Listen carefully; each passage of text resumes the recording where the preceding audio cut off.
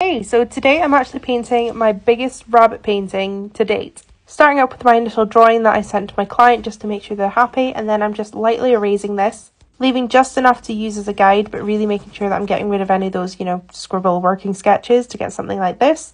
And then I'm going to make a start on the background. I've mixed up quite a lot of this background colour and then starting with some clean water I'm just going to wet the page all around the rabbit. This just helps the colours sort of blend out as I like to give a sort of glowy effect that I like to think of as the animal's personality sort of jumping out at you.